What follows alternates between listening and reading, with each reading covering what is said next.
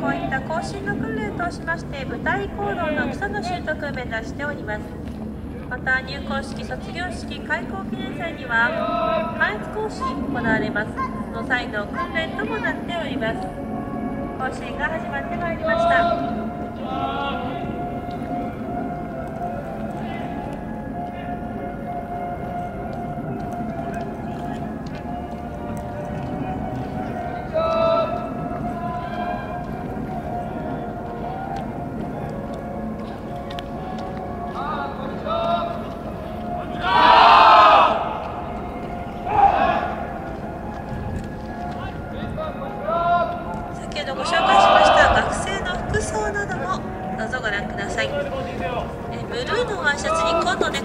紺の帽子紺のズボンそして青いジャンパー着ております。こちらは校内服と申しまして校内でのみ着用が許される服装でございます。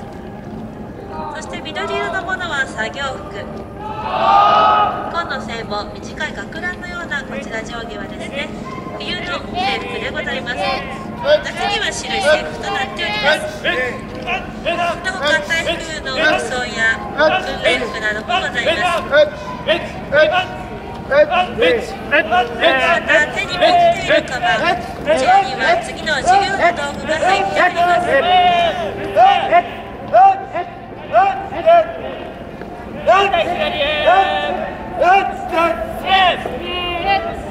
また2000名の学生こちらえかつ入園していくためには学生隊というものが組織されております2000名のトップ学生隊学生長を筆頭に組織されておりますこの学生隊勤務学生というものがおりましてこちらは4ヶ月交代でございます。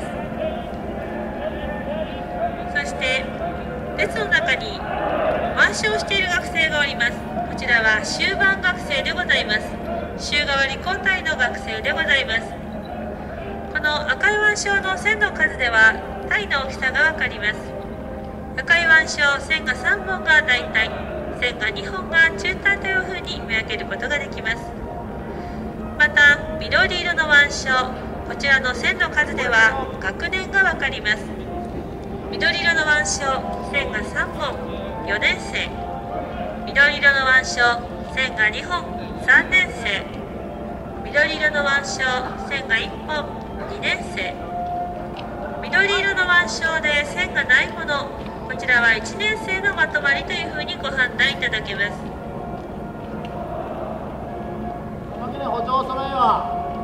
また列の形もご注目くださいませ。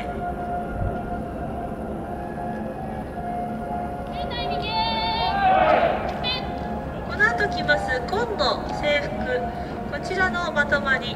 今前を歩いている学生のまとまりと並び方が違うとご覧いただけます先頭に腕章のものが1名後ろ3名その後ろ6名となっております。こちらはパレード用の形態です。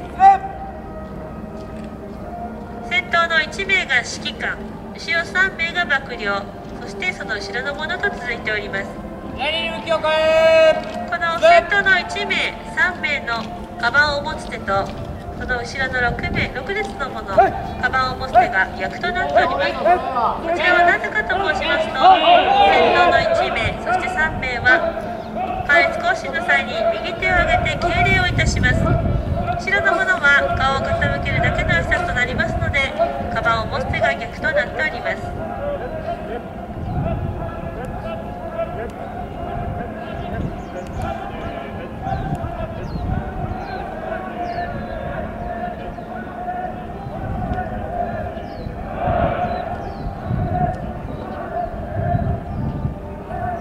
は2年生が定期訓練ということでですねいつもより出社人数の方が少なくなっておりますこちらは緑色の腕章で線がございませんので1年生のまとまりというふうにご判断いただきます